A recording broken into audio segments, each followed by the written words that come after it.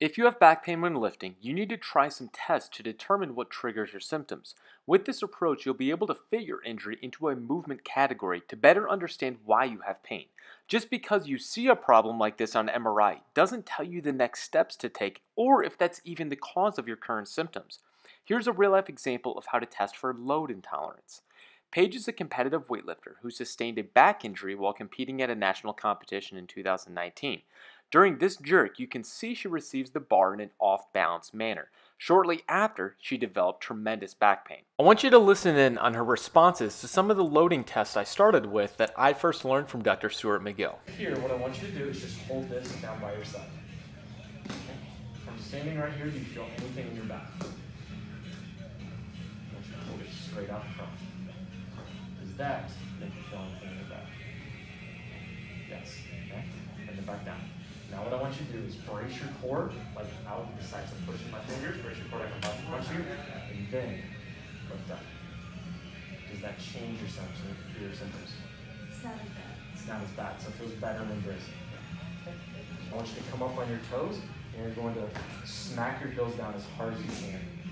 Almost like landing from a plane, I want you to sort of send a shockwave up your spine, so land with a little bit more straighter heels. So you just pop down and try to send a shockwave up your spine.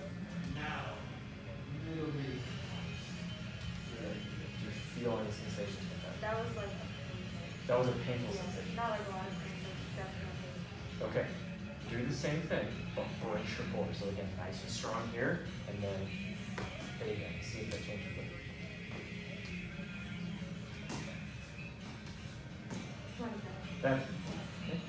Here's what was happening anatomically with those last two tests. When someone has a disc injury like this model is mimicking right here, you'll see that there's a little bit of instability right there.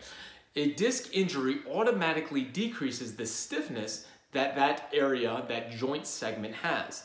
And when you apply a load to the body, either lifting the weight or doing a quick drop like Paige did, you're gonna see a little micro movement occurring at that particular segment, which was generating pain. Now, when Paige stiffened her core, she was using all the muscles that surround that area to pull the spine into a good position and add a little bit of compression, which then when we reloaded by lifting the weight and doing a quick drop, there was stiffness that added compression and limited those once painful micro movements. So a part of her fix was limiting some of the loads that was triggering her pain and then also instilling proper core stability. We started off with the McGill Big 3, a combination of the modified curl up, side plank, and bird dog all held for 10 seconds. I then used exercises like the offset walk and offset squats with very low load to work on improving stability in a more sport specific manner. When the offset weight bounces around slightly, small muscles deep within the body are activated and increase the body's awareness of spinal position,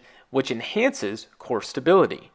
Over time, we eventually progressed to bamboo bar squats, which use a light load but enhance core stability to a much greater degree than a traditional barbell lift.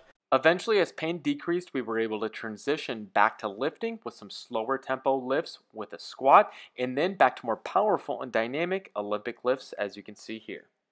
They say that energy flows where attention goes, so I pay no mind. Why waste my time with all these negative cats scratching? So caught up in their egos, these people have.